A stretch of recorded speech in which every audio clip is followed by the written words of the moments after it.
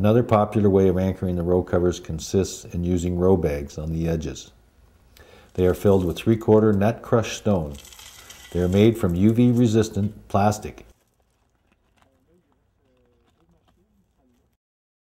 To close them, UV resistant tie wraps are used. Depending on wind exposure, they are spaced roughly one meter or three feet apart.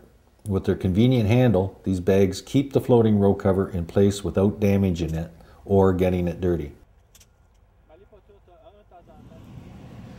With this anchoring system, it is easy to lay the row cover aside for crop maintenance and afterwards putting it back in place.